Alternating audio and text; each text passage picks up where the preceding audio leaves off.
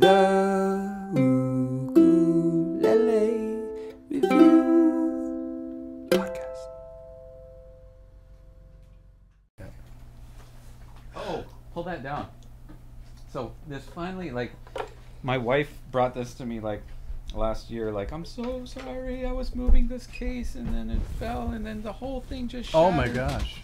Oh my gosh. Oh wow. But this was um. Was that Music Guy Mike's? Yeah.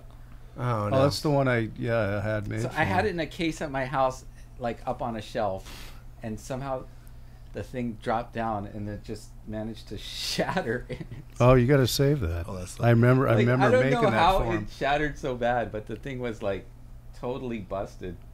I remember giving it to, to Mike. No, I no. wish I had I, given it back. to I just remember giving it to him, and he really. No, I, just mean, was like, "Hey, man, I, I just don't know why yeah, have a gift just, for you," and he was like blown away. that looks like that went on a It rock and like- roll rampage, or that was Yeah. it. Yeah, that, No, that yeah, got the you- Pete Townshend Yeah, treatment. yeah, man. exactly. Pete Townshend, the Pete Townshend model. well, we got a light on fire. No, that was Hendrix. It lighting comes fire. broken. Yeah. Yeah, put it together. exactly. oh man, that thing is. That really got wrecked. You got to read some of the signatures on there. Yeah, Maybe mahogany. Nah.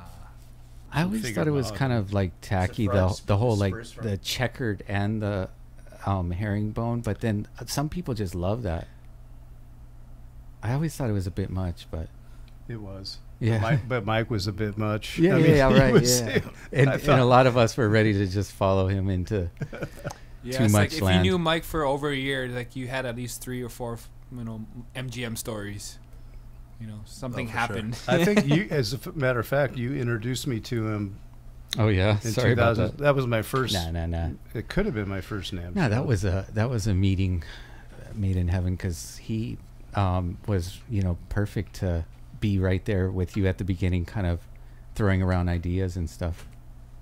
Yeah, he was uh, just a bundle of energy, man. Right, right up to his last day, Yeah. And even at the end, he's he's just like staying positive. Like I had a good life, man. I love you. Thank you. You know, just like cool. But um, but music guy Mike was uh was was uh, an integral part of kind of forming what we became because he he had like Chris and Joel, you know, that we then took on and then and then Mike started working with us. But um, No, he was. He, he wanted to get people. He wanted to make them happy and get them the right the uke that they yeah, were just stoked with. You know. exactly. And so that same business model was like was what we wanted to try to do from the beginning.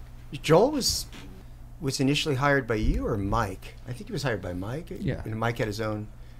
I remember the first time I met Joel, we were unloading a container. I think he was. You know, it's amazing. He applied to work at Higher Ground even before he worked for Mike, and I was like, this kid is too shy, or I don't know. It just goes like Joel has been like the best. Yeah. What I mean, when you unload a container, you see someone unload a container, you can see their work ethic. Because I remember he was Yeah. hot Hawaii sun in the summer. yeah, yeah. Yeah, I think were you there? Yeah, you were there, Mike. Yeah, I mean, I think there's people afraid to sweat and not. no, he's just a hard worker. Oh, for yeah. sure. Yep. But no, I, I, I remember Mike and going to his house and always would crack up because he his setup table was on top of his mom's dryer. Yep. You know. It's funny. We talked about that last episode about the or washing machine and dryer. Uh, yeah, and his yep. mom yelling at him for getting steel wool in the lint trap. and- I mean, the whole house was just full of ukes everywhere. It's like his parents Yeah. were just the mom was always just like, "Ah, Michael, you know. But it it was uh, it was his enthusiasm that I think got a lot of people going, and it's that same kind of vibe that we want to continue with. You know, that that same thing of getting getting people excited, keeping them excited, giving them you know fun new products that help keep them inspired. You know, and um, you guys have been great partners for us in that through the years by really trying to continue to zero in on great value instruments that look beautiful uh, I guess constantly working on the the quality and, and consistency and all those kind of things, you know.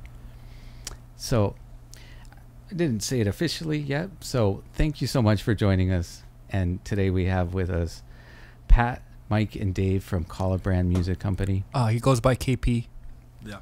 KP. Call it Pat. Pat. Yeah, yeah. Call Pat. He had a legal name change. Yeah. Yeah, yeah.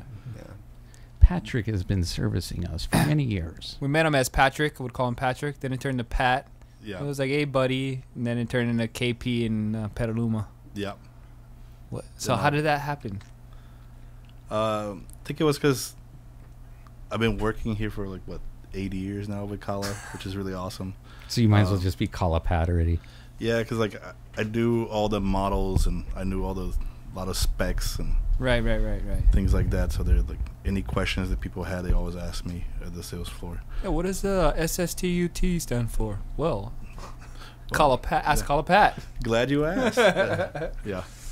Oh, that's my favorite when you know people are on their phone and they're like explaining a Kala model, and they just do the abbreviations, and then I'm like, "Oh, you got the solid spruce top uh, tenor." They're like, oh, uh, well, "How did you?" he just read it out to me. You know, it's just like, um, Well, you know- thanks for keeping it fairly consistent through the years. You know, I mean, there's been some changes here and there, but it's it's been fairly on. You know, I, like we've been selling SMHTs as long as I can remember. You know, there's the the ASAC Ts turned into the SATs and whatnot, but you know, for the most part, Yeah, I was totally against that, man. Yeah. no, there's something about consistency, right? And searching names and being able to know. Yeah, and it should you should be able to denote what type of instrument it is from the model number. That Yeah. was always my thing. You know? Yeah. How's it changed, Mike, for, for you in the past, say, like five years, even?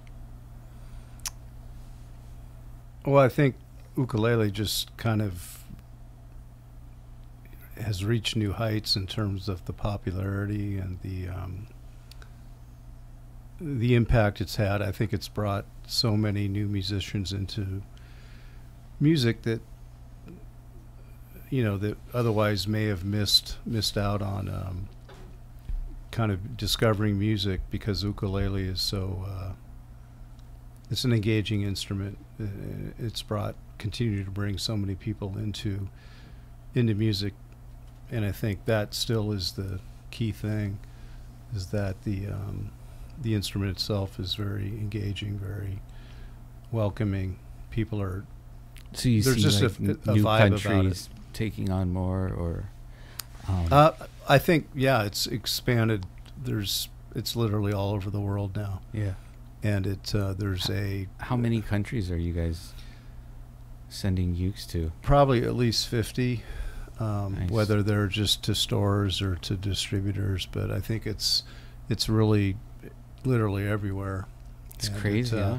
Yeah, it transcends. I mean, it's not crazy, but it's it's like it's cool that it's. no, I think it's there. really a universal instrument in that it's really transcending um, cultures and uh, any boundary. I mean, that Yeah. uh, and that's a wild thing when it you know kind of emanated out of where There's we are right all here. over the know. world that are you know right now being like, this is perfect for what we need to teach a group of kids, or you and know, they everybody seems to translate it just right into their own music or their own situation.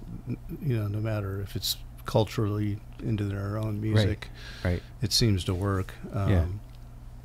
And so that that's kind of a I don't know any other instruments that really do that. I mean, maybe percussion or drums or something, but not a instrument with notes. You know, maybe piano. I but Right, right, right. you know. You don't think guitar would do that same thing, or I think it could. I think, but I think uke is maybe just because of its size, because even more transcending? Yeah, it, you know, obviously a little easier to get going on. It's less um, intimidating. Oh, for sure. Yeah. accessible. and the and- price and all that. You know, Yeah. typical things. Yeah, four versus six, steel versus nylon. You know, it's just a little bit more inviting for you know the starting starting point. But as far as I think people are now realizing that you can get complex, you can create emotion with this instrument. You know, you look at for after ukulele festival, hearing Jake twice because he played the back tent and, Yeah. and the front tent. Mhm. But I got to hear him twice, and it's just hearing his Corey Fujimoto play the ukulele is so bad. Yeah. Sorry, I'm. Whoa. What is it? Twin hole. Blue Sorry, Mr. Fujimoto just walked through the door. There's this. Uh, there's a guy who plays on. I forgot his name, but he goes by something one string. But he, there's a tiny desk performance. Bushy one string Yeah, yeah. from Africa. just one string. And it's like if you can if you can make music with one string, it's like that's where it's at. You're telling a story, you're, you're creating your emotion, and it's just one string. So ukulele's got four of them. you know, it's like you can definitely make some beautiful music. yeah, it's like you know you just gotta you just gotta love it. Get in, dive into it. We the We don't do Summer NAMM, but maybe you guys can like fill us and the folks following Oh, us in on what what you guys showed this year. Or I mean, just because Pat was telling me there was a new model. Yeah, there's a a couple new super tenor. Um, yeah, like cedar ziricote, like a solid ziricote. Am I wrong? Um, no, it's we have an all solid mahogany. mahogany, um, super tenor. So it's a 19, 19 inch scale and Okay, we've seen one of those. I think we did yeah, a wide video. lower bow. Right, And then that there was great. the um, solid spruce with I believe it's Pau Ferro back and sides. I. Could be ziricote, but There's a uh, Is it? Ziracote Super keep an Tenor eye on that with one? solid Yeah. spruce, and then uh, Pau Ferro, solid Pau Ferro with uh, cedar top. The, the Okay, one that has the I stand maple, corrected. Uh, what I really like is the body size and the neck. It just and then the uh, you know the Which is like what X-bracing Corey has in his hands right there. It's exactly. It's an import version of that yeah, body style, not the woods and but- scale. Yeah. Yeah. So it's a little bit wider on the lower bout there. Yes. There's a little more of, of a jumbo shape to it. I like it. kind of. Yeah. But the tone, man, that's what trips me out about this.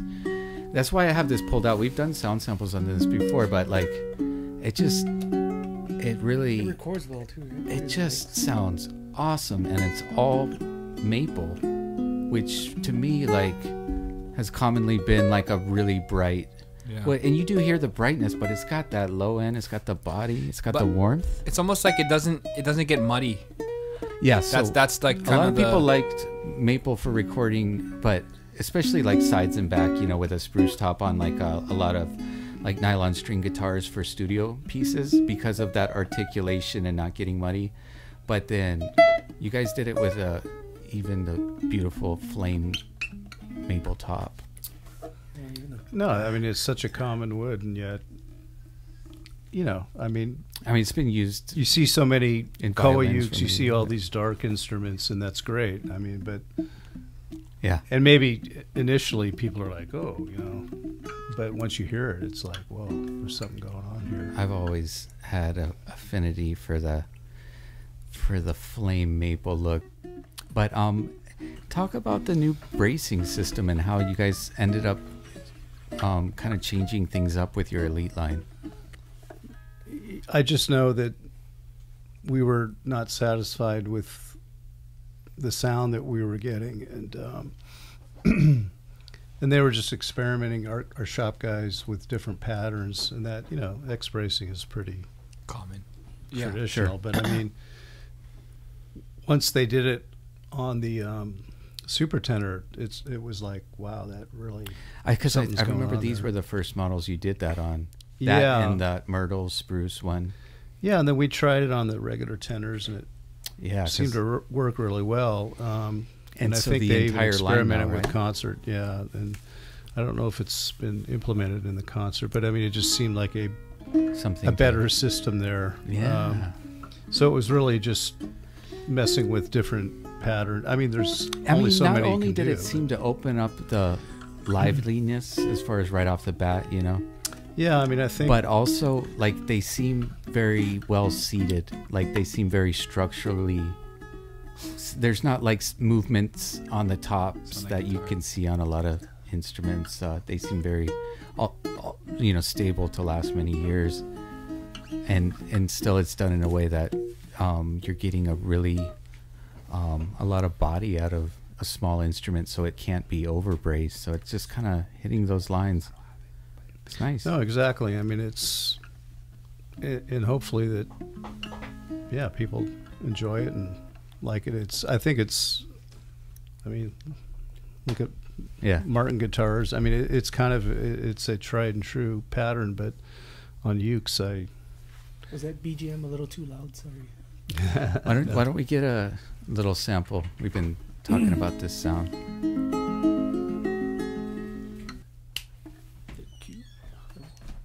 See that precision passing right there? Nice. See that Aaron Rodgers pass?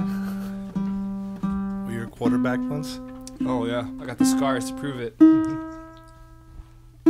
I feel like every quarterback breaks their collarbone. Yeah. So Like, easy. Every single. It's like chopsticks over here. so easy, man. It's the easiest bone. remember my brother. Like it was the Lillehua game, Yeah. and like they did a. He had like a late hit, and then it wasn't even like a hit. It, they grabbed him and like somebody like shoved him down and just. Yeah, it's the way that's the way you land because if you, I landed straight up and down, so when the pressure when the guy landed on me, I could just hear it and feel it go Yeah, it was probably about like 300 pounds or something too. Yeah. six five, two fifty. That noise too. Ooh. Yeah. Dave looks like he could have played some ball. Yeah. I played some football, but I mostly wrestled Oh, wrestler. Because I was horrible at ba- only because I was Like that horrible at grappling, huh? Yeah. You want to just tie people up and make them beg. I don't know about that, but but when you grow But up in maybe. New Jersey and Staten Island, it's it's good to have some extra skills. Yeah, yeah. Or you got to make people laugh, one or the other, right? Right. You know. Or make them laugh as you're Yeah, yeah. You're gonna laugh at this show. One or the other, both. Yeah. never look into a half Nelson. Yeah. All right, let's hear this all flame maple tenor, 19 inch scale.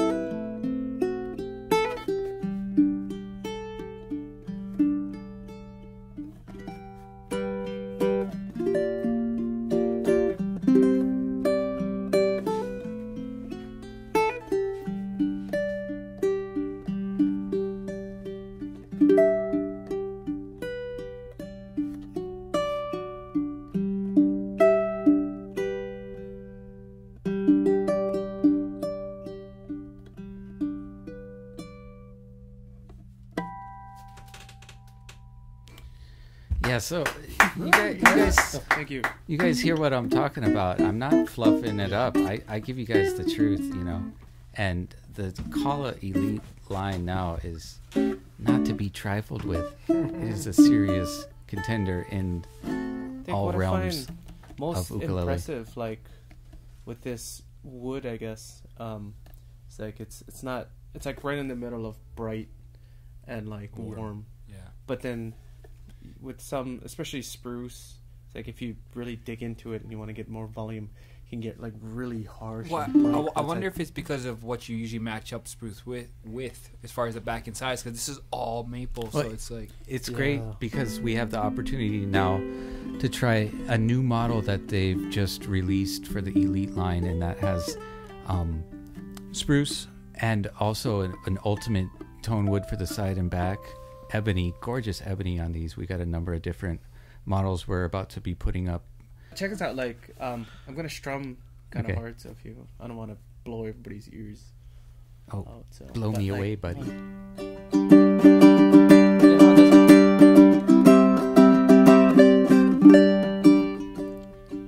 That's called dynamics. But it doesn't ever get muddy. It's still really clear, but it's like I just spit. I saw it in the light. It was like You know, like slow motion. That's how good the ook was. yeah. you salivating. salivating. that Make. Corey drool.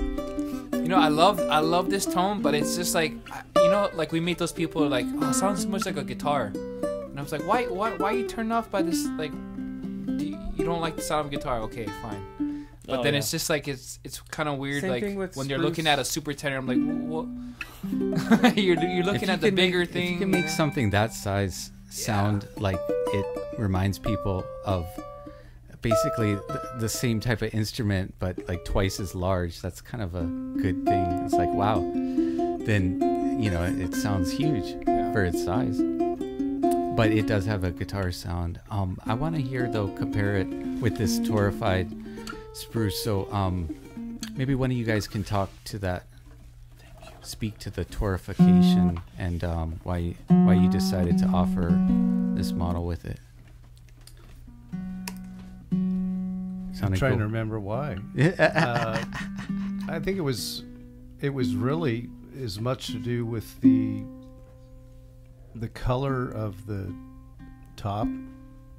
I mean, I know that sounds yeah, it looks. It, But- I but, mean, uh, it looks almost like you cedar could put regular spruce on there, but we Yeah. had some torrefied Yeah. spruce sets, and we were like, well, let's. This looks really good when you laid it against the uh, Macassar ebony. Well, people are, ar- you know, they'll, they'll argue about whether, you know, how much it affects the tone or, oh, will it become better sounding after that or does it matter and stuff like that. But originally, I think it was designed to emulate these um, custom builders that were building like the pre war, you know, era style instruments, trying to make these like look as vintage authentic as possible, brand new, right?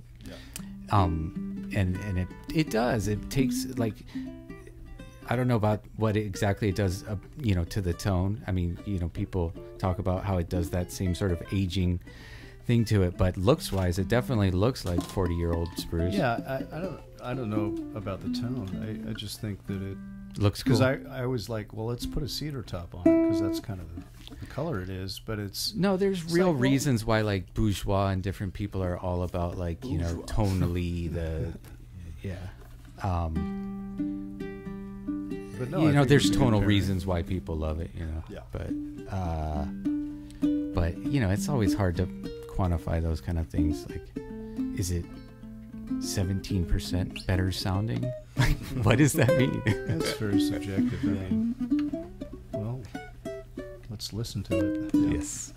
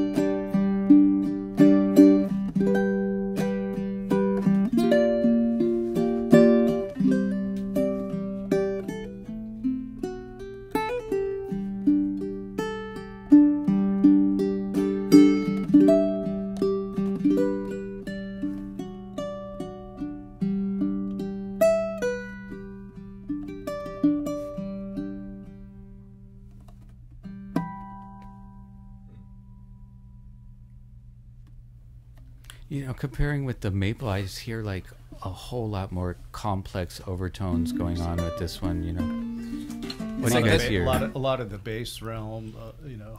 The, the notes are hanging out longer. yeah, a lot the- of sustain. Yeah, the maple kind of like lets it out. You hear the note very clear, and then it, it's gone. But w- with this, you kind of hear it Yeah. lingering. and making and, more music And there's inside. more than Yeah, just yeah, the yeah, yeah. fundamental tones. There's a lot going on that just um, makes for a really beautiful, complex overtone to the. Yeah, But it, especially. you, but you still hear the the wideness, the big like the full sound on both. You know, they, they're coming in. yeah, I wouldn't say like that. This one necessarily is loud, or I don't know. What do you think, Corey? It's a little louder. A little louder.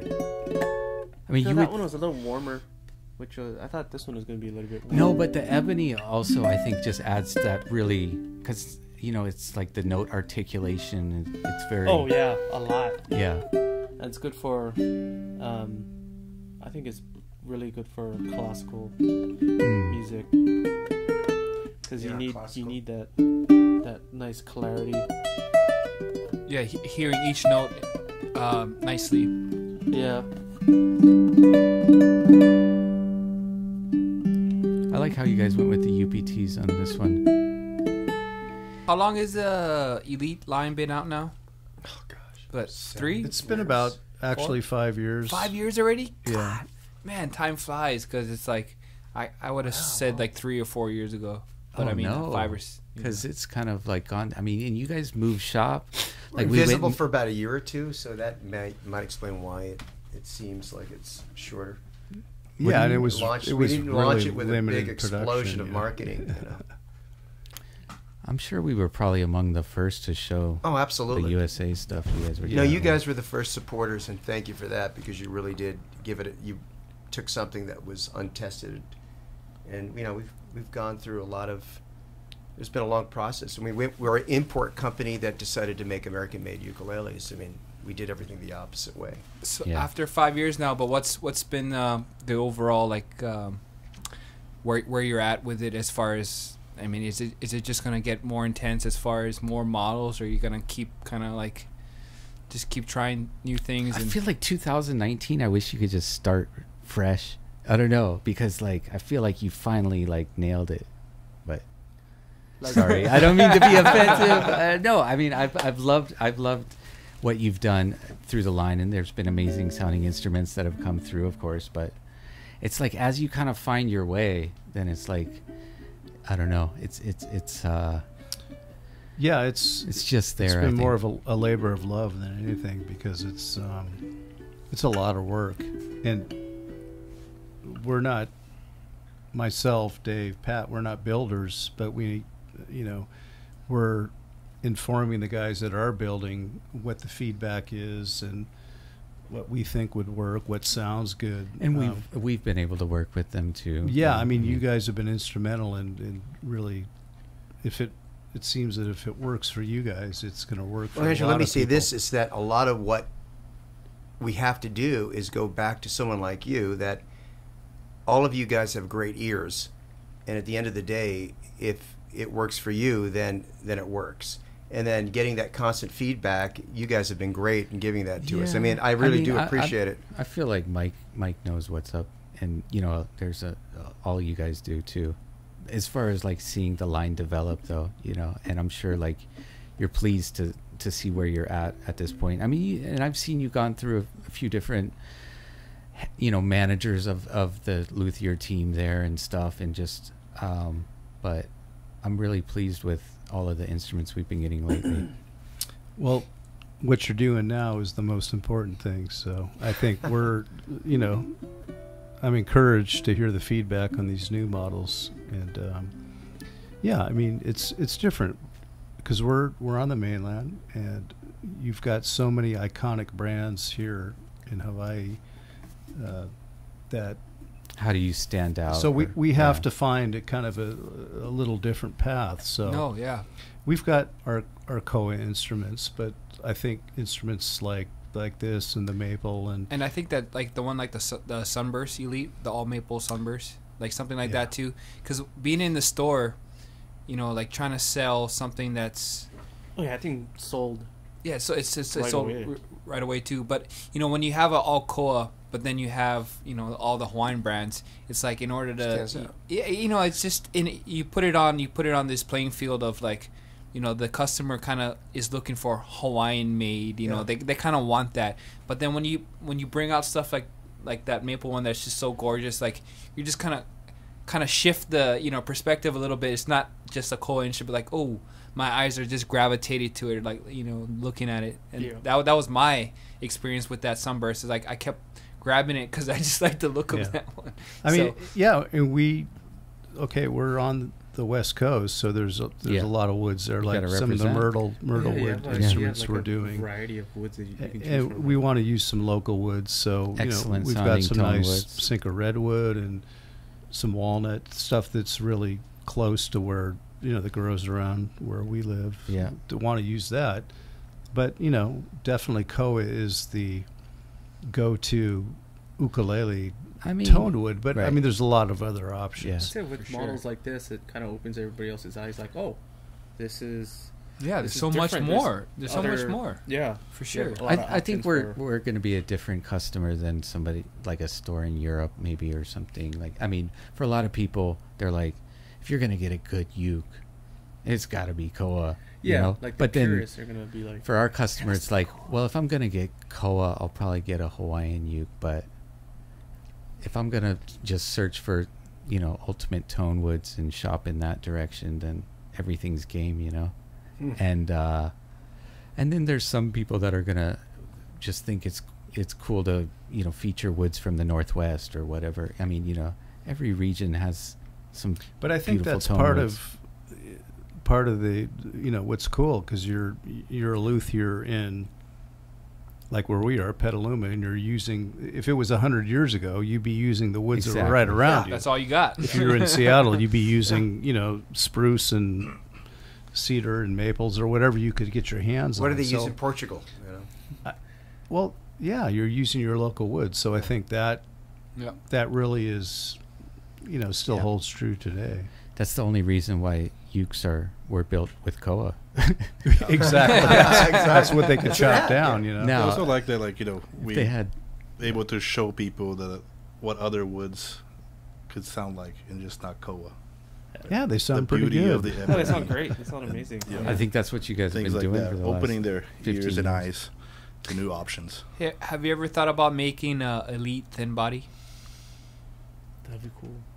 Super I just uh, just because you know what No one's the- asked that question before. That's a great question. Like a travel, yeah because there's a lot of people that come in the shop that um, What a great I think question. are like they they've become fans of the the travel like they, they'll have a friend like oh I'm, I've been wanting to get one Well, and I think it's great think that you guys came out has with the exotic mahogany just another option a little bit more affordable but I, I feel like maybe there should be one more above the spruce top like get give it to that next Yeah. level you know I think there could be something there I think part of it is um, like I was.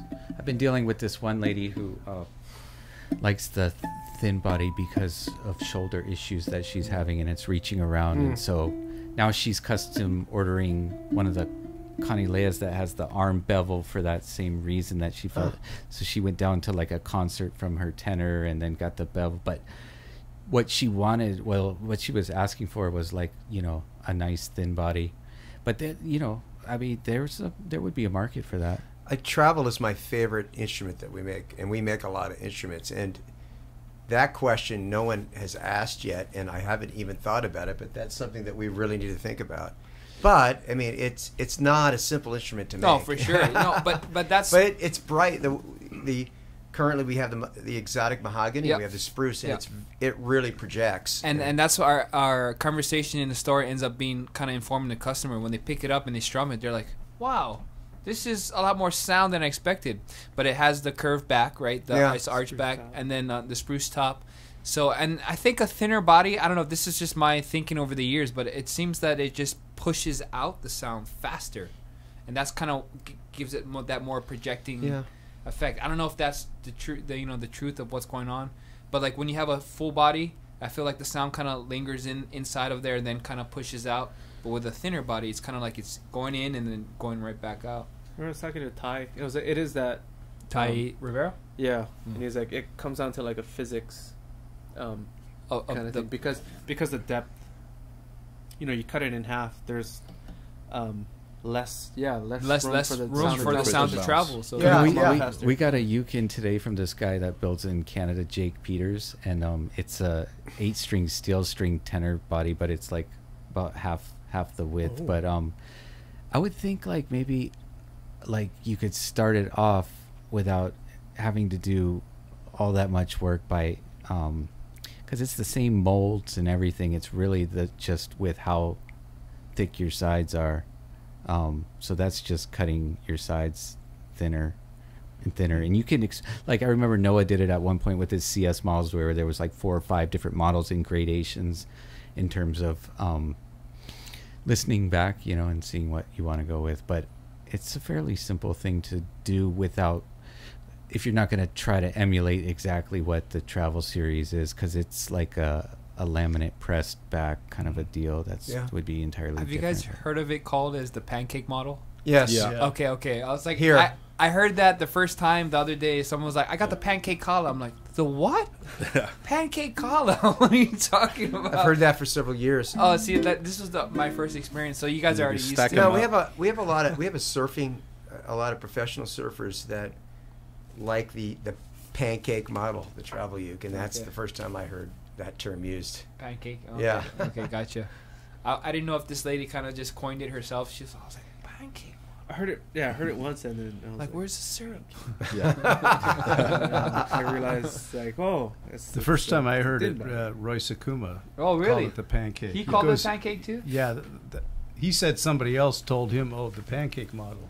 But I mean, that's the first I heard it. Right. No, You know, it- like about- where it, where it started. Yeah. you know, I don't know, eight, ten years ago. That's or that's crazy. so- That's funny how it kind of transcends because none of the call it guys called it coined it pancake, but No. some, somewhere along the lines, pancake and only here. only yeah, only, only, in here. Yeah. Yeah. Never Nowhere- in the mainland's been called No. a pancake. It's a Oh. local thing. Uh, Mm. What was the the lap steel was the frying pan, right? I wonder where that comes from. I never heard it. Lap steel. Pancake. Why why pancake? Just because it's you know Oh, yeah. the, thin. the thickness of a pancake. I, I I call it the thickness of a deck of cards. That's a, that's what I compare it to as far as the thickness. But I guess you know double decker pancake Uh-huh. is the same. I don't know. Oh man, getting hungry. Oh, Yeah, you're hungry, exactly. That's what I was thinking.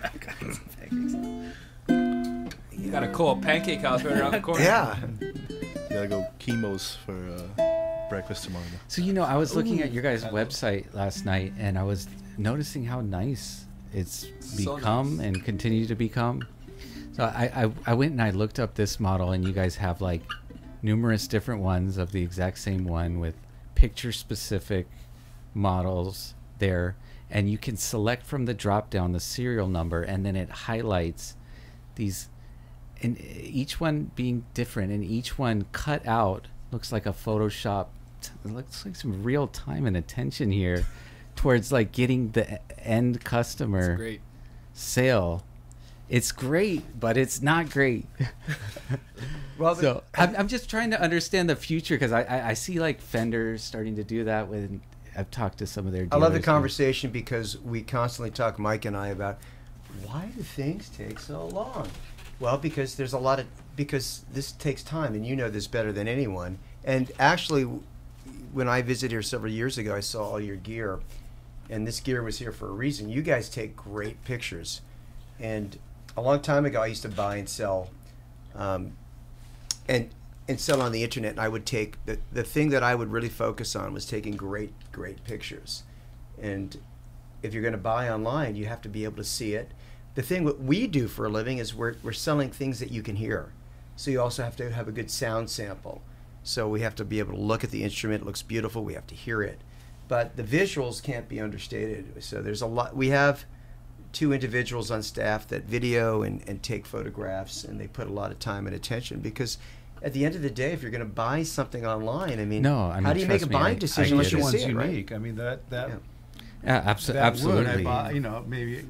but i'm just wondering i'm wondering I mean, they're all. It's all different. I mean, that one is beautiful, man. That f- certainly these these all But they're all in order to be sold they should be sold picture specific because Absolutely. the nature of what we're talking about here and the level of the instrument it's not so much that it's just looking at the manufacturer and feeling like they're kicking your butt in terms of like like you guys are um I mean, have been trusty partners of ours for many years, and um, we definitely appreciate it. But I also, I feel like you're also like probably our biggest competitor in in terms of being a professional outlet to choose your instrument from, your Kala from, if you will. I mean, there's a number of different good dealers out there, of course, and everybody's you know But there's only one Ukulele Site.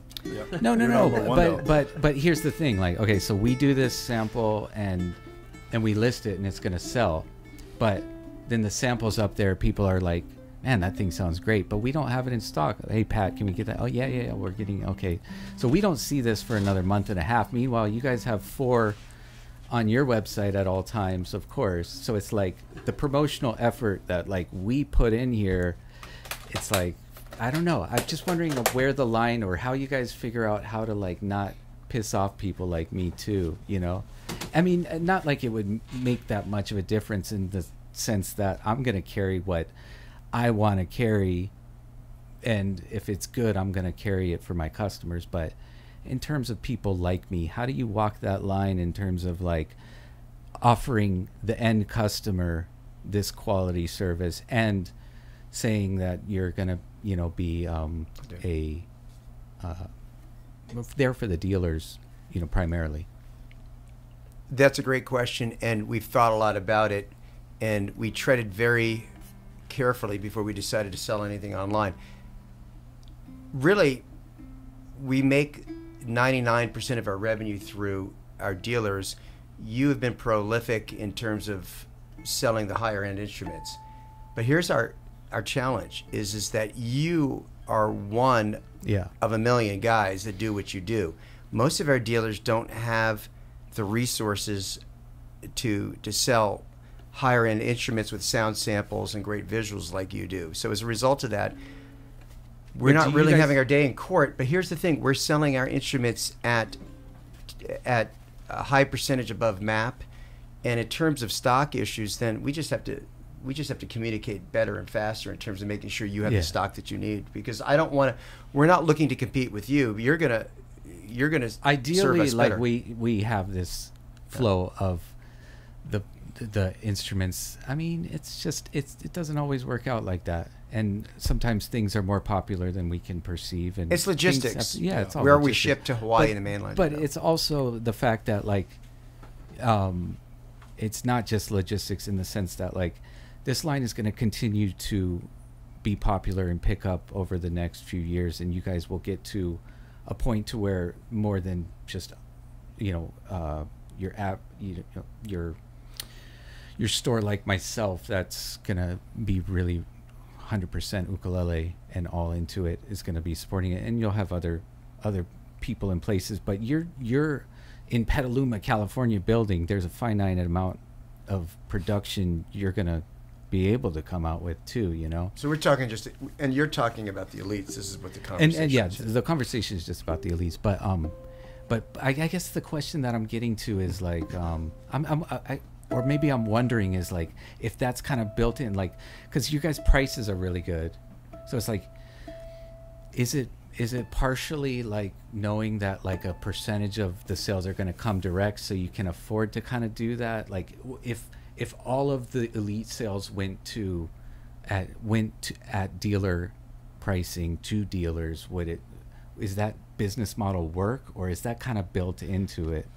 Well, because it's got to work for everybody on all ends you What's know not and I sustainable- understand what what's not sustainable is selling, working in California, and Yeah. if you can guess what the taxes are and the i mean cost of living is, must be really high it absolutely as it is here. rents and all I think that what what we're realizing is is that uh, if we're going to continue and be successful, we need to keep making beautiful instruments, the best possible instruments. It's not going to be a cheap date, and so in that sense, that I think that uh, our What does that dealers, our, our dealers, our dealers are going to be able, if they understand we're not going to sell a seven hundred dollar or five hundred dollar American made instrument. I don't know how to do that. Um, I I help Mike run the company. I don't know where to find people that I mean, can you- work that's what under you guys have minimum been wage. trying to do. Maybe Yeah. it's been a lost leader, you know. Go ahead, Mike. You wanna- Yeah, I mean, it- really, it's been more of a passion. It, It's- it, it, that's it exactly did start right. out. It wasn't like, wow, we just want to make money doing this thing. It was like, we really want to do this. We want to build instruments ourselves. We feel like we can do it. It's going to add to kind of complete the the company and what we can do. Yeah. Now it's come into the now that people like him, we're building more. It, it does come into you've got to support it Yeah. and it's got to, you know, and I think we want to keep the lights on with that part of our company. We're not going to enrich ourselves with the United States production at this point, but we do want it to at least be sustainable. Yeah.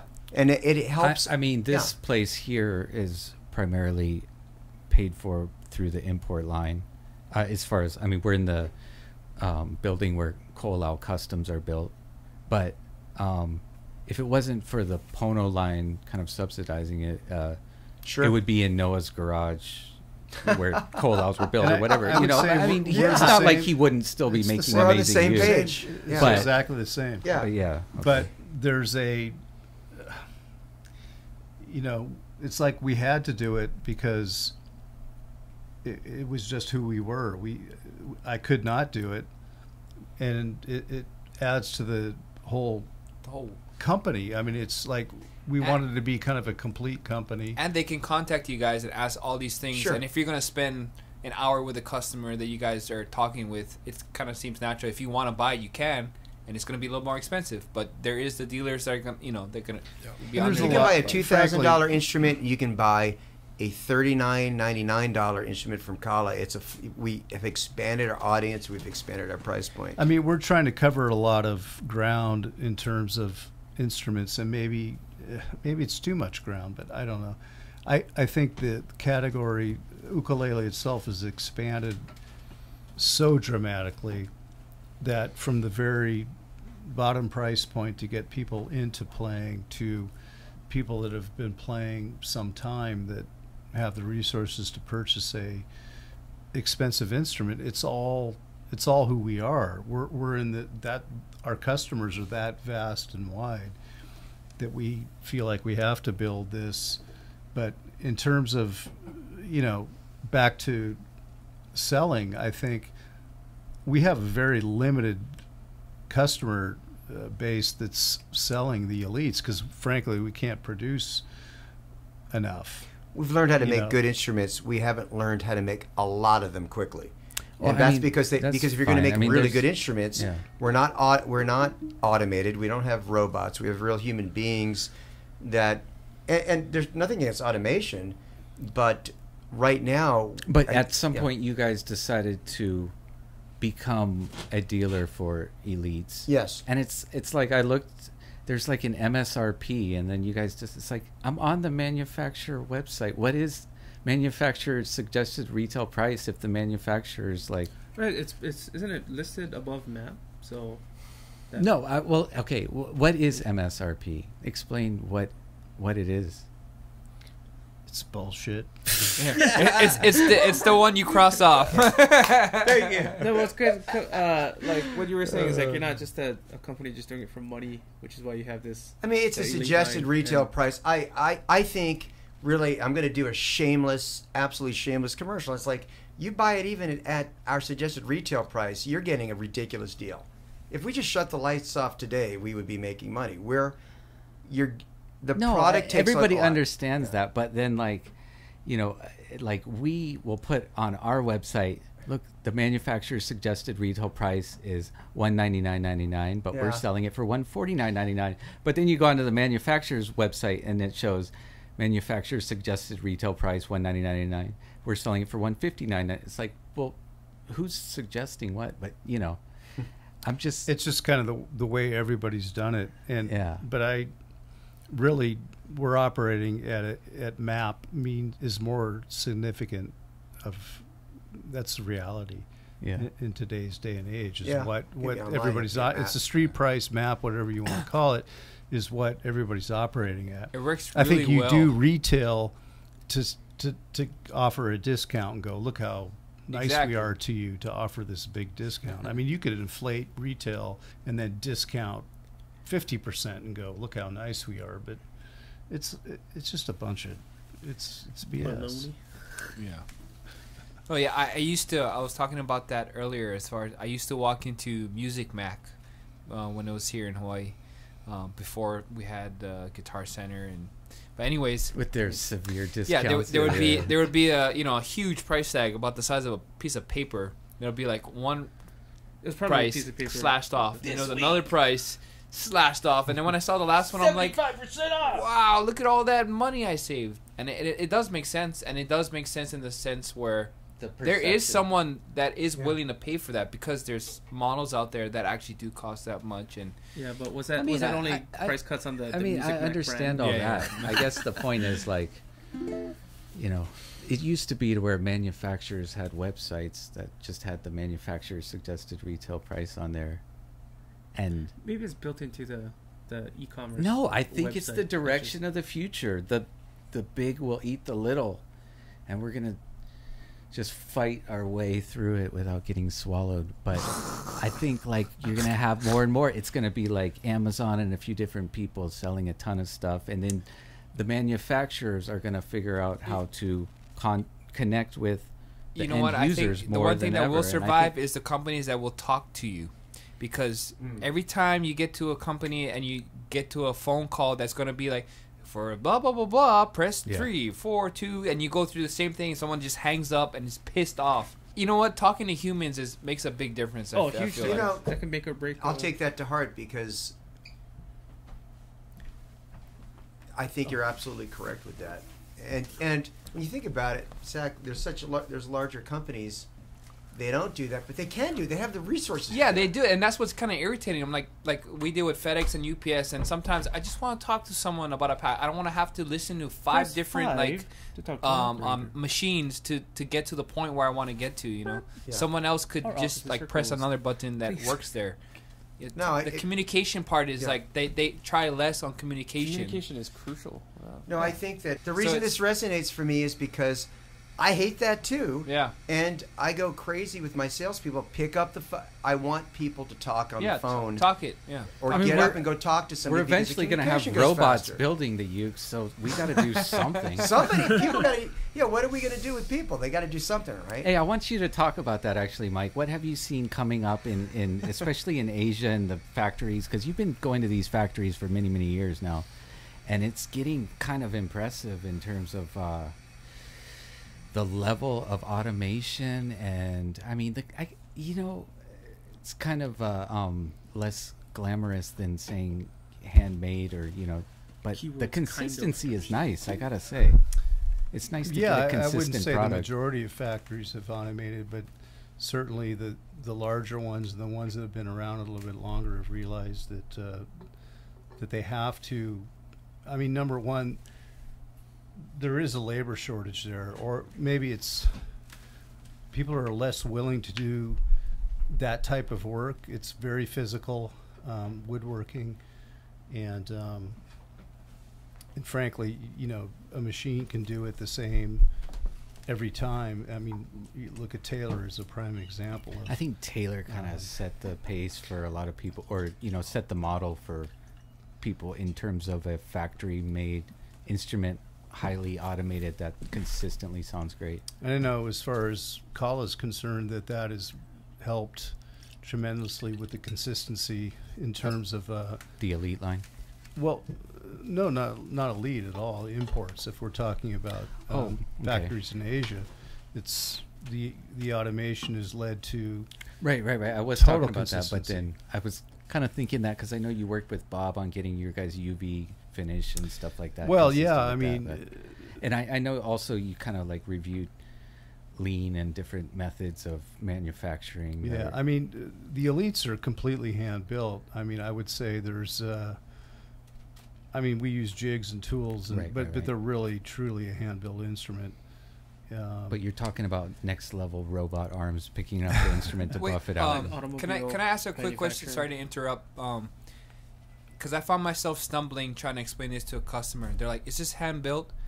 And I'm like, "When I, uh, the as far- elites or the imports? uh, the imports. When I when I, when, then when I started thinking hand built, I'm like, I know there's hands involved, but like how much, like what is what what How does hand built actually mean? Because sometimes I get a little bit confused on It's uh, ki- explaining. getting kind of vague because there's definitely hands involved. That's Yeah. what I'm saying. Our It's, it's absolutely say- both. It's Our Tiny would always say it.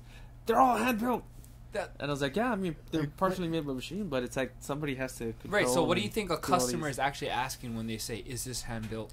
It's in a garage Like or in all some kind of hands, shack, no tools. Cutting wood with a saw. And A I robot's mean, like, if it "I was have completely hand built, What do you yeah, think they're it asking? would be What a couple thousand dollars for an MKS. You know, I mean, Well, yeah, and But that's I what mean- I, that, that's what I, that's what I'm kind of curious because I, You I didn't Yeah. ask them like, are you talking yes, about did Mike they use Upton machines? made it with his hands. yeah.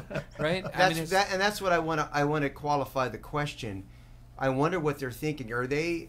I wonder. I wonder if they're thinking. Does this speak to the issue of quality right. regarding the hand or the It machine? is, but then And and I think that the best way to answer it is that is with a question. What do you mean by that? Are do you is this speaking to the quality? And they're saying, yeah, I want an instrument that has the best quality. And uh, do you equate quality with hands? Yes, I do. Then you're then you're partially correct because a, a machine, certain machines will have the same results all the time. And there's absolute um, precision. I'm thinking I just say, right? yeah, of course, check Yeah. it out, hand built. so but here's the thing it's a sec it's come on guys it's sexier to say it's hand built because no matter even though i'm right the customer thinks this I mean, and you're trying to battle the customer's perception, variations right? of how much of your hands. It's like back before there were jigs. Was it more handmade? When Well, wasn't that like- term handmade? Wasn't that more of like It's for like marketing and stuff? e- Like, oh, every yeah, step along the way has been to make it more consistent. I'll you know you what, what, i'd rather dig a 50 foot hole with a with a spat with a little uh, spatula than a jackhammer I, because I want the quality of the hole. You know what I'm saying? Come on, guys. Let's think this through a little bit. I bit. know that jackhammer is just taking out everything. Come Yeah. on, But but I do think. But we're here's the thing. I think spooning, what customers spooning are our going grave to, here. Yeah. in terms of the in terms of the uh, precision yes, and uh, where a machine can a, can a what part can a machine do? I think what a machine can do are the things that the things that require like a millimeter of sanding or something that last bit of finishing. A machine can't do that at this point. Maybe at some point it will, but there's a lot that it can do to help quicken the process, and that may, might be a better answer. I don't know. I mean, because it's it's been a long time since I've just been building, but it's like even when I was, it was like, you know, nowhere near. Um, even what they're doing now with Ko'olau in terms of CNC work and stuff. So yeah. So wait, if you use this in C, you're not hand built.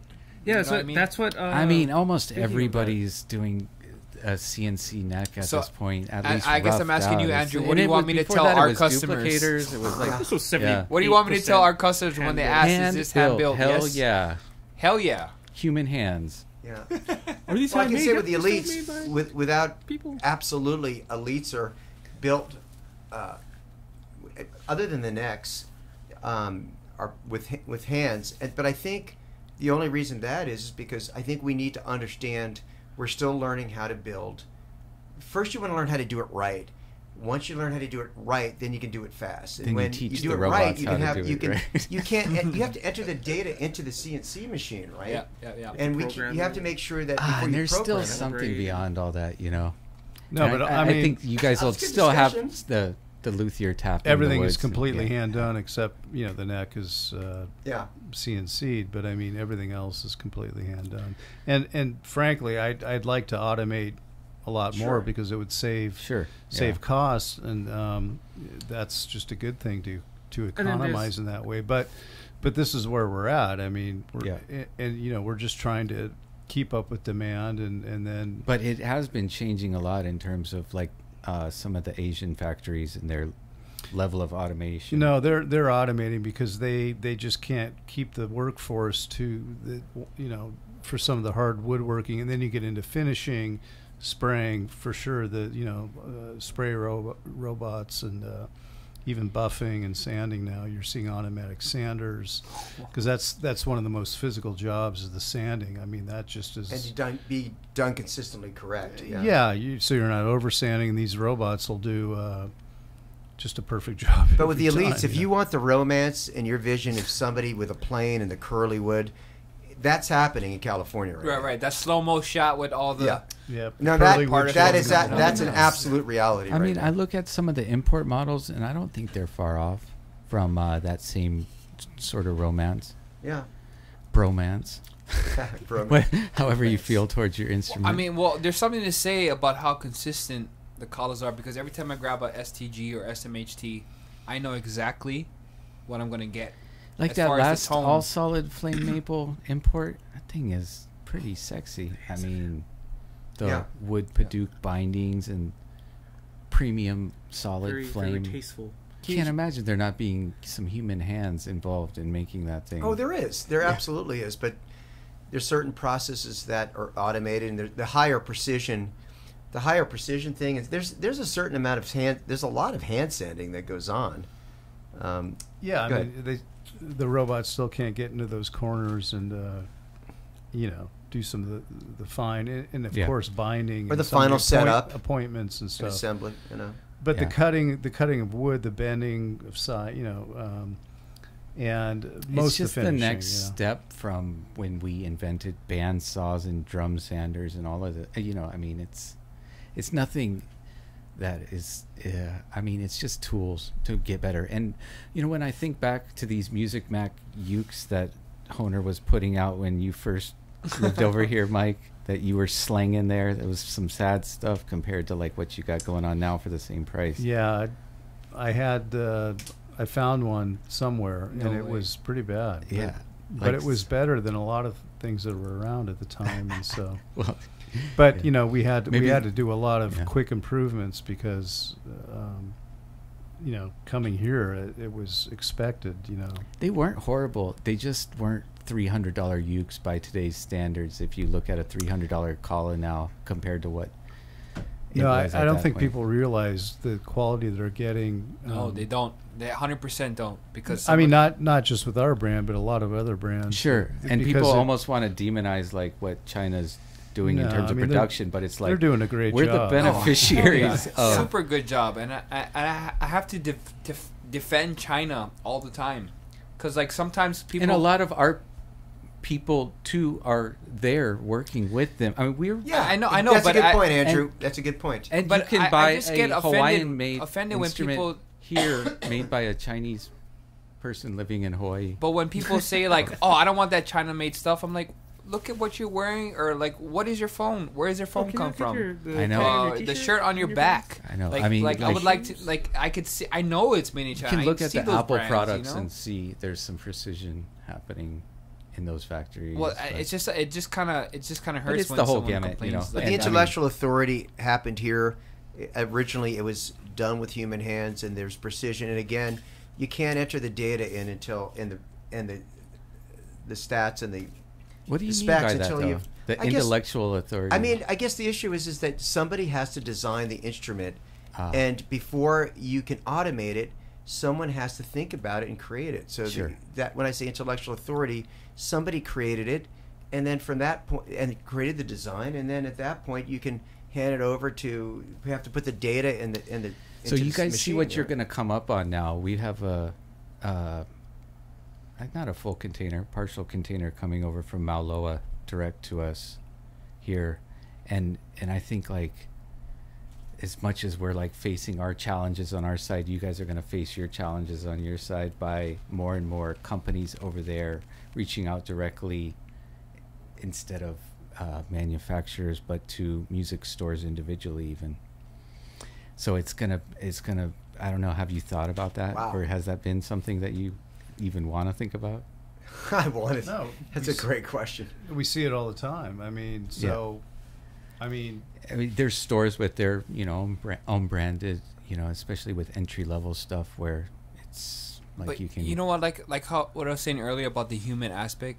I feel like Kala and everyone at Kala, I, I feel like they do enough on the communication side to where i- i- as much as markets can change and whatnot, I feel I always feel like if you're gonna talk to the cu- the customer service side is gonna be your your end point.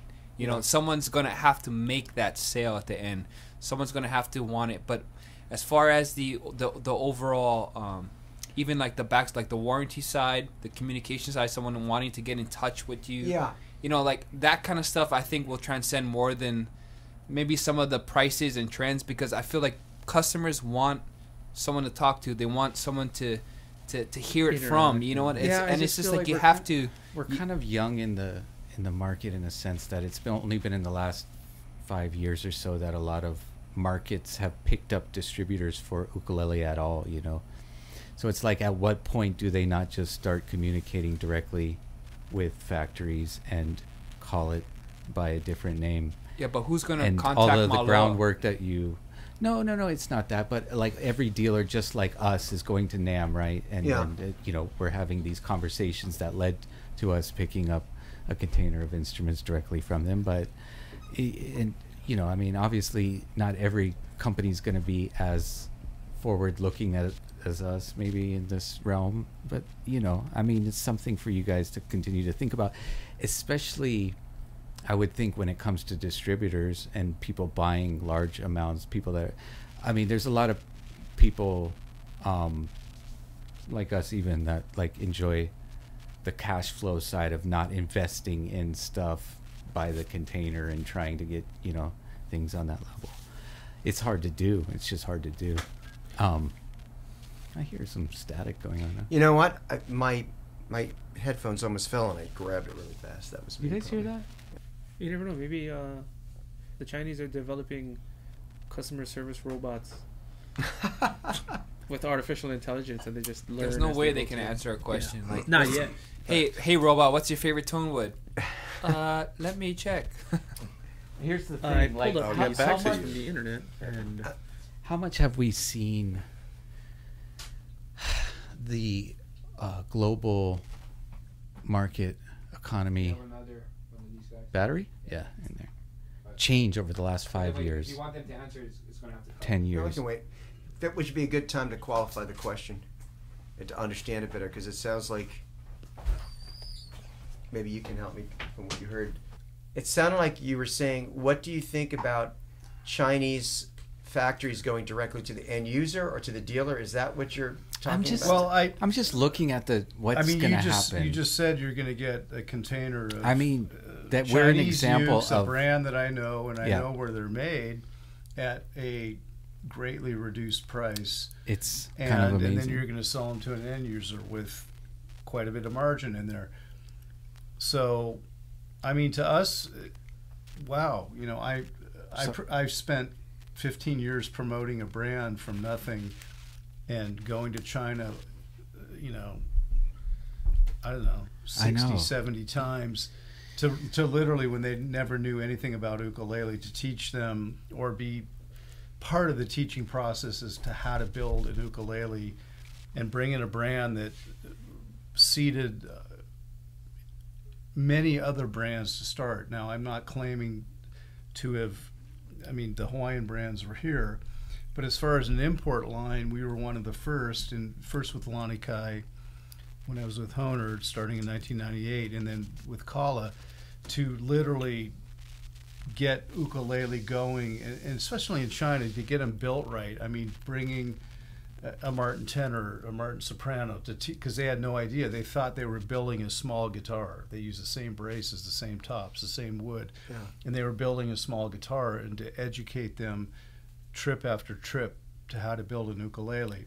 Which So the took a lot of work, investment, energy. personal investment in my life, and hours spent I, that's how I that, feel when and I. then to see i mean to, you know so there, there's Yeah. a little bit of angst in that okay now these guys you know uh, after doing all that now they're going to come right to, but, but, right into in, but- into the but I mean, market do you- and, do you and, uh, expect, like- shortchange no, us. no, no, no. But uh, okay, here's the thing: is like, um, like for instance, they're asking me right now, like, um, either you take, you know, a larger amount and become the distributor, or there's somebody on the East Coast that wants to become a distributor.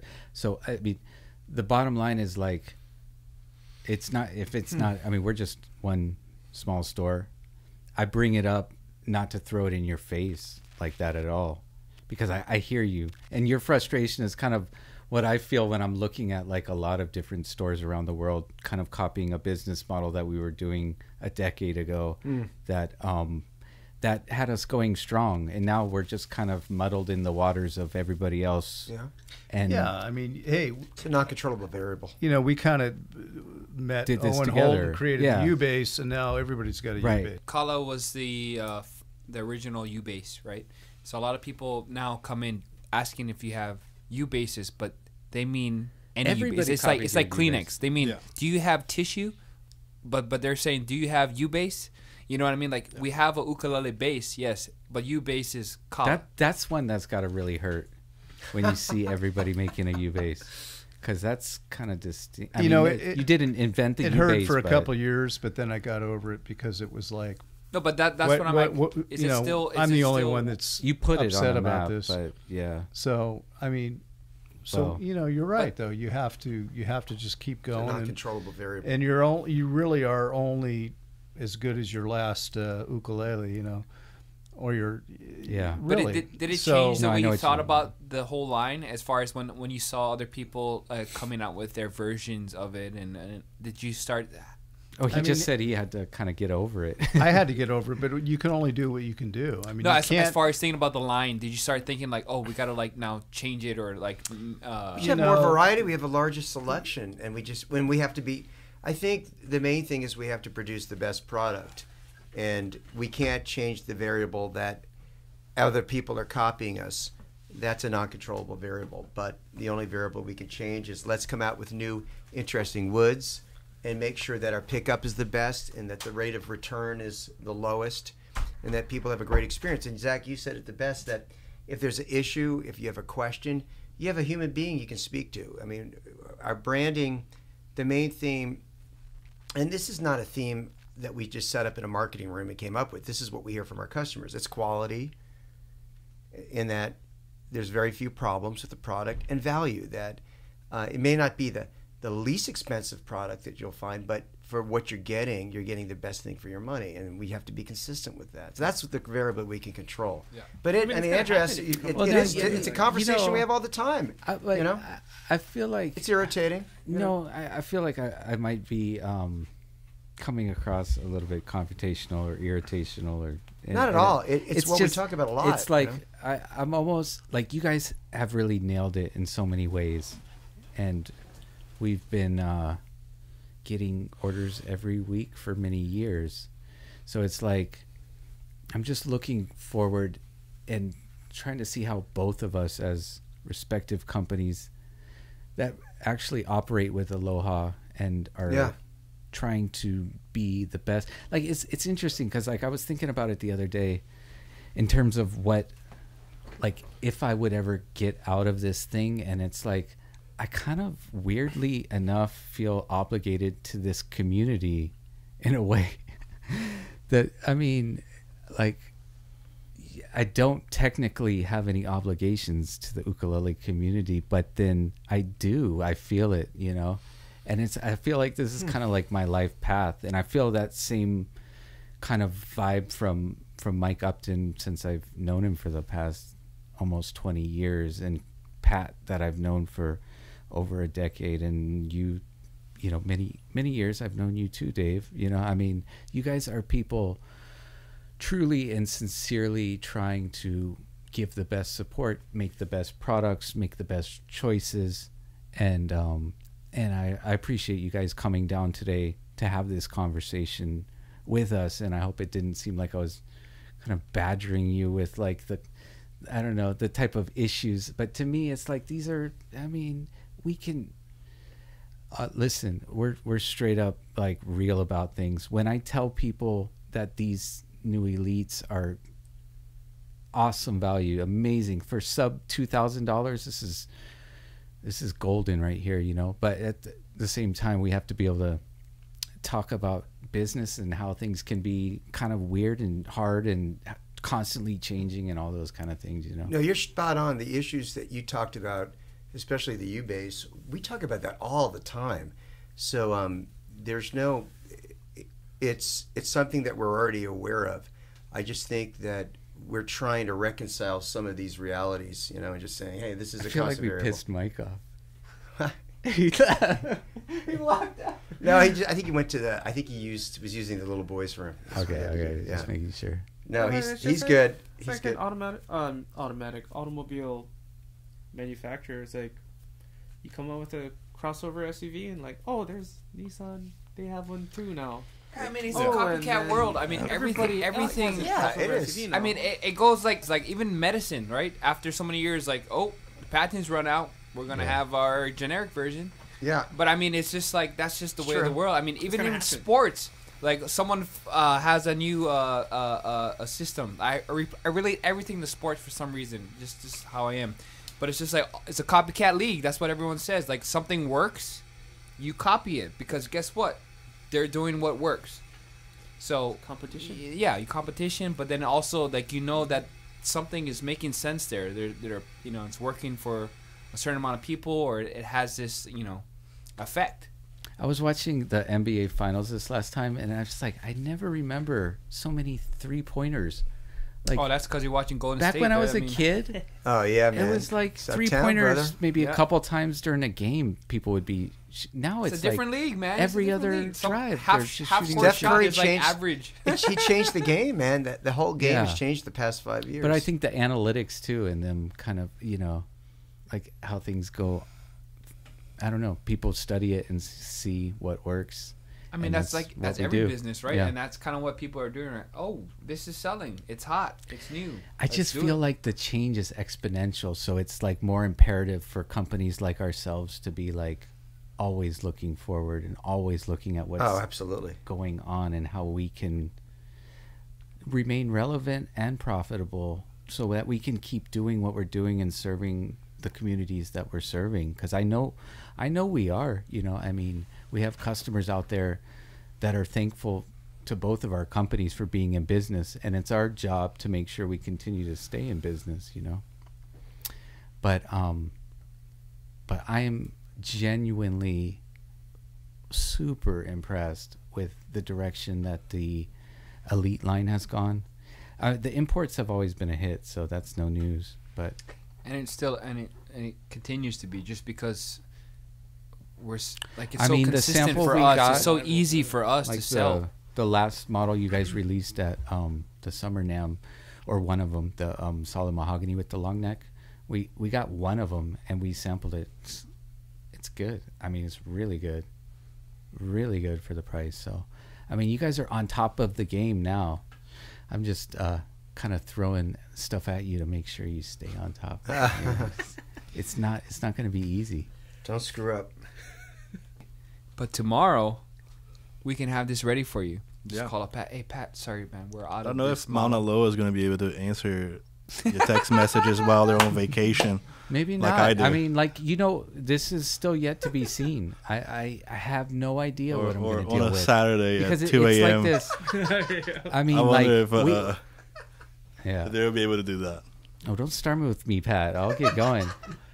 You know, I don't know. I don't know, but I know our relationship and our business there. partnership with you guys has been beneficial, and we'll keep going as. Where, I a- mean, as that's is. where customer service. just want to gonna let you guys know if you start, you know, listing more products on your website, I might get more containers from Loa. I mean, but but you think about like when we thought about MGM, like when you think about how he was, he he he, he would try, he would bend over backwards, he would Oh, yeah, try, his, his job was twenty four seven. Yeah, he would like- always be at home. Like and that's what I'm saying. I think somebody it's going to transcend everything. It's just going to be how much you want to like help the people out there. You know, so how much you want to gonna you're gonna know. be. With Mike, he always had this "I'm about to die" kind of attitude. Like I just had to pay a fine on the sign that he had made for Hale'iwa because he didn't get the permit done right. But nothing was ever like, I don't know. He always just was kind of like on my way out, I'm just breaking all the rules, and live as, as if he was very generous. He was like, very you mean like. Walter White.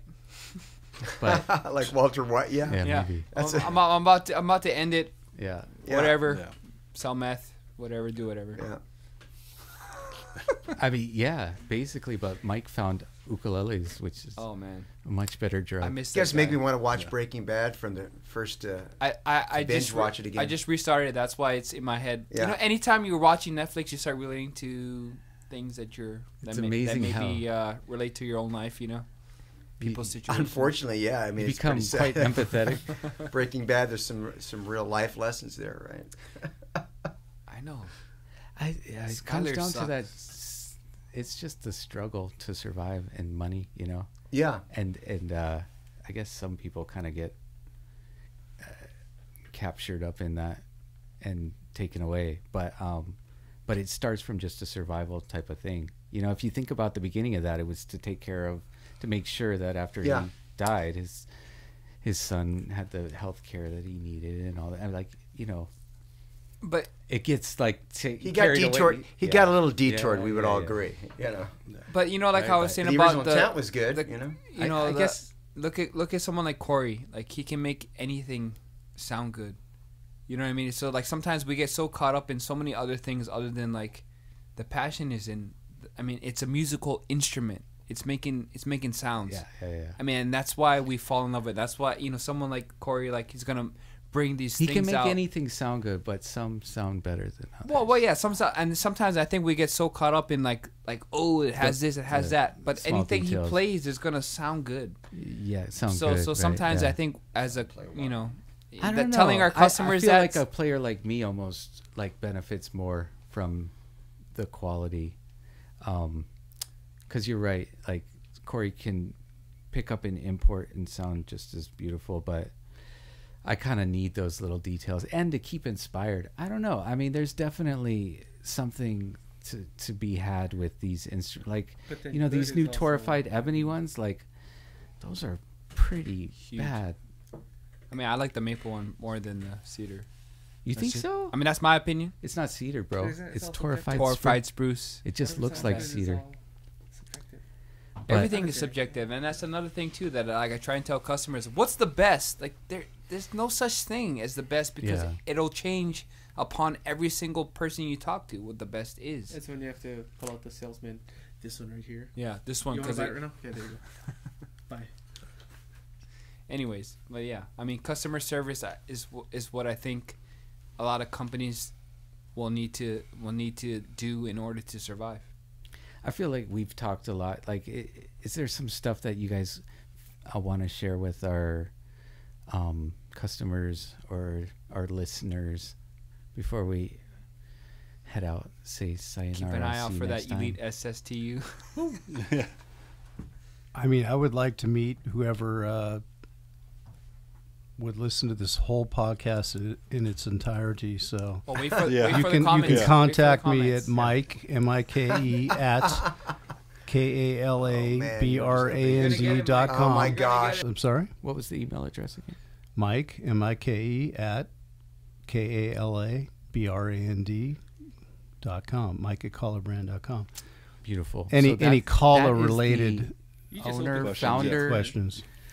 Of the business opening himself up there to inquiries. I mean, it wouldn't be that's hard to figure out. That's my email. That's the best example Well, of customer service. There you no now what There kind you of go. robots you got running Yeah. There's no you'll, robot. you'll get a you'll Yeah. get a real reply. Yeah. But again, fifty Hello, words or this less. is Mike. Yeah. Yeah. Little do you know, this is one of this is one of four mics. Yeah. Oh, this. Yeah. the other one's at the Europe. Uh, You think he Yeah. went to the bathroom? No, the other one just replaced Yeah. Yeah, yeah. This is- No, but I, To charge the other one because I mean, back to up. just I mean, people that are fans of Call It, thank you for being a fan, and you know, Yeah. we work really hard to Yeah. do what we do, and uh, And you know what's really cool is that uh, there's a lot of people that I've met just from my short time. I've been in a store. We got a new store in Kaka'ako that you guys visit. Uh, I think today. Even. awesome story. But um, we we only been there since October of last year. But even uh, the folks that come through, that that they haven't bought anything from us, they'll be like, "I have a kala. I have a kala." Like there's so many people oh, out there that, dude, that say you they have a kala. must have a gajillion Kalas in But the you know what's That's funny is that thing. the next step up is still a kala, and that's what's so Just keep awesome. going, man. Yeah, Let's exactly, getting- and that's what's so that's, cool. But that's what's that is That was the our game idea. plan. That's yeah, the I- idea. and, and it's just like you yeah, can walk hey. the whole step up that word in the kala brand. You know, when when you guys established this thing in California. You know, kala is now a people don't know brand what to think. It's like everything from the most affordable to high end. No, but then that sets you apart from all the, you know, I'm not gonna name any brands, but There's there, there's a lot know. of affordable ones that don't aren't also making but then I high feel like caliber not, ones for sure. You know, they're just out there to just be there, you know, to make stuff to impress one person. Like, oh, they have this kind of um, Yeah. colorful looking And there'll be customers for those. model. But then there's a core passionate yeah, like, you customer that I think is going to still have some loyalty to some OG people trying their heart out like you guys and us, you know. yeah, because you guys. And I think that's like, our people. And if somebody Love emails you, you know, saying they actually listened through all the jibber jabber of this thing, Yeah. I think the- It's gonna be the- I'll answer Kind and I'll the- you congratulate Hundred you. percent. and- Every time I Yeah. think a and- customer's and not going to listen, acknowledge It'll be- your There's comments at the it's very like the end, I quality of the the customer is Yeah. also something, you know. And I think like there's a certain customer that we keep seeing year after year, you know. No, and there's so many people that are interested in what they're buying from or who they're buying from that that sometimes even that will make the sale more so than the plain side. They want to know who who are they buying from. Yeah. But you brought up an interesting subject in the beginning about handmade versus automated, and I think that's a significant s- subject because it's real and it, it's it's this is not just within our industry making musical instruments. It's it transcends that uh, into other consumer products. For sure. For sure. How much percent would you say is um, human That- interaction instead of just a, like at least I think With at least hundred percent. I think with the imports probably 50 50 maybe. That's the best But rough the- guess with imports. Yeah, but there's- like I the mean, there's- time that goes into like shaping. There's people neck touching those instruments I every know. part Oh, of it. yeah. I mean, Yeah. they're moving it from station to station. The machine yet would be you can doing the work, Yeah. but people are moving them around. I, you're never, i- i- as Well, far as well, musical not- instruments go, you're never going to replace people. They're going to always be involved. It's Yeah. just the nature of that instrument. It's But up until a I mean, when you it's like yeah, just- when you're book matching and would you, I mean, there's just too There's much. just- Yeah. It's not an iPad. It's gonna still No, I mean- It's some not a attention. Volkswagen, you know what I'm saying? It's like But a machine, sometimes you can use a machine that applies the glue, Oh yeah, the fingerboard on the neck. right, yeah. But that that that bead of glue, someone if imagine someone doing that perfectly. Someone had to do that perfectly first before you could program the machine yeah, to you do would it have to create a you machine specifically for that. But then there are machines Yeah. in And China I mean, that are it's, ki- bending it's kind of good right? that Yeah. there's like Yeah, that's machines true. doing It's some things. true. Like we shouldn't even bother wasting our time. I mean, ideally, we get to a place to where like the mundane types of manufacturing that just eroded people's bodies over time for them to be able to survive are mostly taken by machines that we are able to benefit from from some sort of like uh I don't know. I think there's got to be some sort of a, a basic income or some sort of a s- supplement of like subsidies once things get fully automated. I mean, we're talking maybe a decade or two in the future, but I think there there'll be more time to maybe be creative. Maybe we can play music more. I mean, you know, maybe we don't have to slave away I'll just make a machine that can play music for me. as a collective society. Yeah. yeah. CD player. Maybe maybe we Or should the- just chill out and not work invention. 15 hour days and maybe strum on our uke a little bit more you know Yeah, you know, i mean you're these are driving things uh, through the freeway on your work with. Tesla, you know, while driving yourself, you can just yeah you can be shredding. maybe Or- or that's instead not the you know, time like but yeah see- i mean you know No, no, like stuff you see the that. guys taking like naps on their Teslas on the freeway. They could On the way be the they could be playing ukuleles instead of Hey, read a book, play a musical instrument. Yeah. That's that- I, we don't need to be on our iPhones all the time. We can Yeah. yeah. do something using our, our oh brain. grandpa what do you know Unless you're on the Kala brand app. Yeah. you guys got Yeah. the app you guys got all this stuff Yeah. That app is great. you're cutting edge you got the hipster instagram ads with all the buttons and Yeah. you guys are on it.